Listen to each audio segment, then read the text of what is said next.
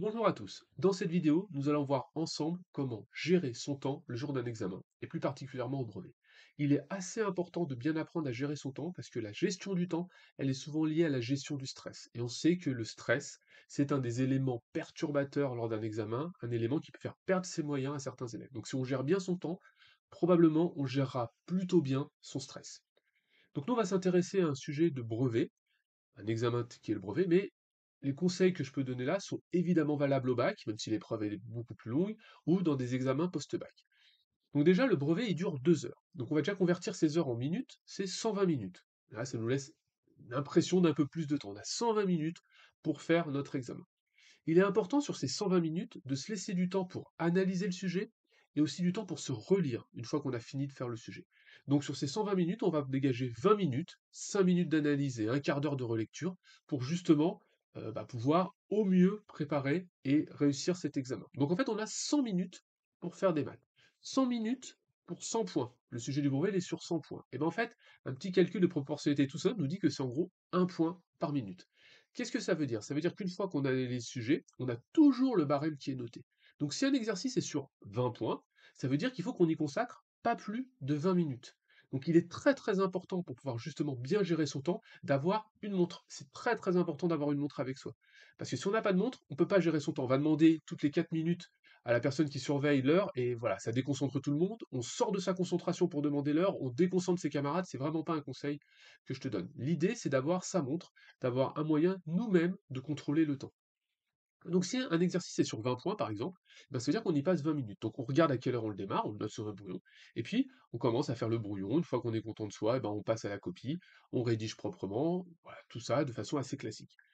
Au bout de 20 minutes, bah, soit on a terminé, et dans ce cas-là on est déjà passé à l'exercice d'après, soit on n'a pas terminé. On regarde ce qu'il nous reste à faire. S'il nous reste très très peu de choses, on finit. On rogne, on va dire, sur nos, euh, notre quart d'heure de relecture, et peut-être qu'il y a un exercice sur lequel on ira plus vite. Si on voit vraiment qu'on est un petit peu loin de la fin, eh ben on s'arrête, c'est pas grave, on laisse de la place pour si on a le temps à la fin d'y revenir, on passe à un exercice suivant. Donc ça, c'est quelque chose d'important de ne pas avoir peur le jour d'un examen, eh ben, de laisser un exercice en plan, de passer au suivant. L'objectif, c'est d'avoir la meilleure note possible. Donc pour avoir la meilleure note possible, il faut être le plus efficace possible. Donc il faut faire un maximum de choses. De même, dans la phase d'analyse, tu vas avoir repéré des exercices que tu préfères, sur lesquels tu trouves que la notion te plaît plus, sur lesquels tu es le plus à l'aise, sur lesquels tu penses que tu peux avoir un meilleur résultat, une meilleure note que sur un autre exercice. Et bien cela, tu les fais en priorité. Tu remets à la fin ceux sur lesquels tu te sens moins à l'aise. Alors pourquoi faire ça? Tout simplement parce que l'objectif d'un examen, c'est d'avoir la meilleure note possible. Donc pour avoir la meilleure note possible, bah, vaut mieux faire ce qu'on sait faire au début. Entre guillemets, de s'en débarrasser, mais de s'en débarrasser dans le bon sens du terme. De faire baisser aussi le stress, de dire ça je sais faire, j'ai réussi à le faire. Passer à l'exercice suivant. Évidemment, si le sujet te plaît dans sa globalité, eh ben, tu le fais dans l'ordre.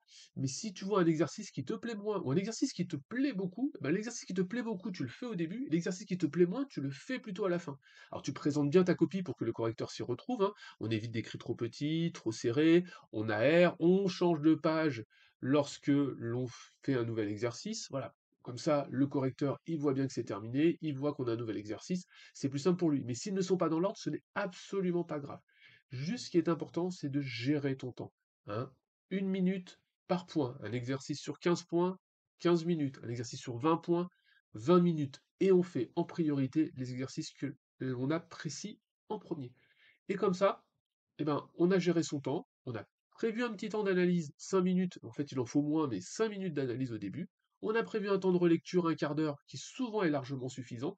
Si on sait bien gérer son brouillon et bien gérer sa copie, eh ben tu vas voir que le jour de l'examen, ça va te paraître beaucoup plus simple, beaucoup moins de stress, que tu vas arriver au bout de l'examen en fait assez facilement et que tu vas avoir tellement bien géré ton temps qu'en fait tu sortiras plutôt satisfait de toi. Tu auras fait ce que tu sais faire, tu auras eu assez de temps pour essayer de te casser la tête sur ce qui est plus, difficile, mais dans tous les cas, tu n'auras pas perdu de points, parce que les points que tu savais faire, tu les auras fait en gérant bien le temps et en évitant de perdre trop de temps sur des questions en fait qui ne valaient pas le coup et en mettant en priorité ce que tu savais faire. Alors voilà, j'espère que cette vidéo t'a apporté quelque chose, qu'elle t'a plu. N'hésite pas à la liker si c'est le cas, puis n'hésite pas à suivre ma chaîne si tu veux avoir d'autres vidéos de ce type-là. Et bien, il ne qu'à te dire bon courage, et puis j'espère à bientôt.